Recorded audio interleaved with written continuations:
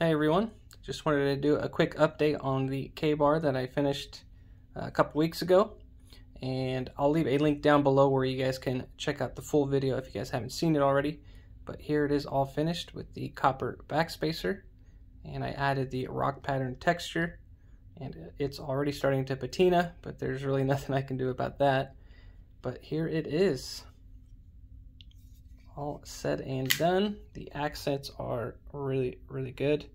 And yeah, that copper backspacer looks way better than the material that I chose originally.